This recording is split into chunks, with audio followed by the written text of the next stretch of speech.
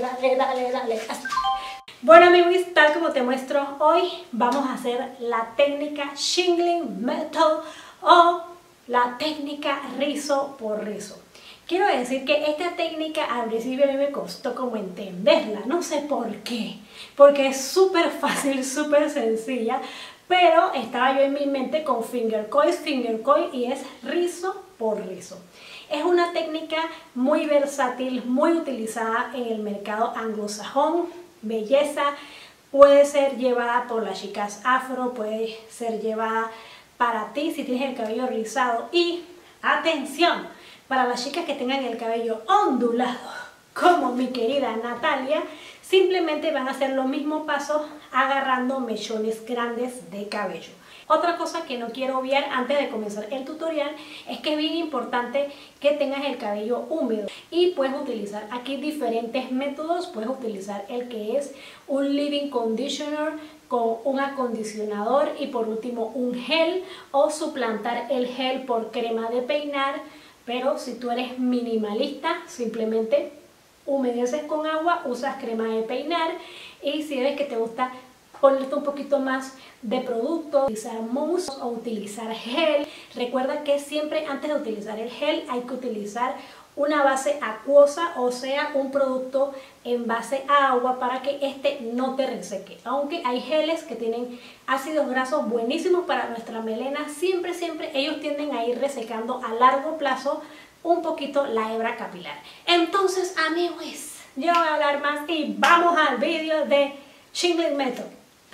Con el cabello previamente húmedo y desenredado voy a estar utilizando un Living Conditioner y seguido voy a ir aplicándolo en un lado de mi melena y en el otro. Aquí realmente lo que hice fue una división de dos partes y lo fui colocando desde más o menos unos 4 centímetros por debajo de mis raíces hacia las puntas. Eso sí, amigo, y cerciórate de dar bastante masaje, que el cabello absorba bien el living conditioner o acondicionador sin aclarado. Una vez que ya tengo el cabello listo, entonces voy a proceder a colocarme un pincho para separarlo y voy a aplicar el gel. El gel de esta línea de miel me gusta mucho porque siempre me ha dejado un brillo muy bonito en el cabello. Es mi gel favorito por el momento, aunque ahorita hay una cultura de cancelación, ha habido problemas con esta marca y no sé si quieras que te cuente todo lo que está pasando con ellos y hacerte un review más adelante. El Living Conditioner no es mi favorito, pero el gel sí es muy bueno, huele delicioso y deja muy buena fijación. Ahora sí, lo voy aplicando en toda mi melena, tal como ves, agarrando secciones de dos partes y deslizándolo. Tampoco lo estoy aplicando desde la raíz, siempre trato de cuidar mi cuero cabelludo de los productos, aunque estos digan que son orgánicos. Este de miel tiene bastante fragancia y cuando un producto tiene mucha fragancia hay que tener cuidado con el cuero cabelludo. Voy aplicándolo en una segunda sección. Mira que todo es horizontal. Esto lo estoy haciendo para que puedas ver más a detalle el proceso. Y luego llego hasta la parte de arriba.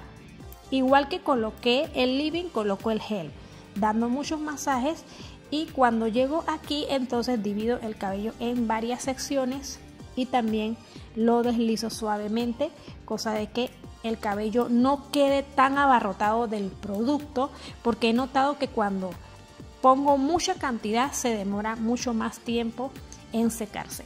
Y ahora sí, vamos a tomar el cabello de la nuca y mira qué belleza. Vamos a tomar pequeños mechones de cabello y lo vamos a deslizar desde la raíz hasta las puntas. Suavemente desde la raíz hasta las puntas. Mira qué belleza el rizo se va definiendo. Para esto mi wis tienes que tener bastante paciencia. Desde la raíz hasta las puntas agarras con tus dedos y suavemente. Si lo quieres un poco más grueso porque tienes el cabello ondulado, puedes tomar mucha más cantidad de cabello. Igualmente, si tienes el cabello afro, aquí sí sería lo contrario y hay que agarrar menos cantidad de la que yo he agarrado. Ves que ya he definido todo mi cabello en la parte de atrás, voy a comenzar hacia la parte de adelante, comenzando desde la raíz hasta las puntas. Tomas el cabello y lo sueltas, como si fuera un spring. Eso es súper fácil, mira que de arriba hacia abajo, de arriba hacia abajo y voilà amigos. Este sería el resultado utilizando la técnica Shingle Method o rizo por rizo.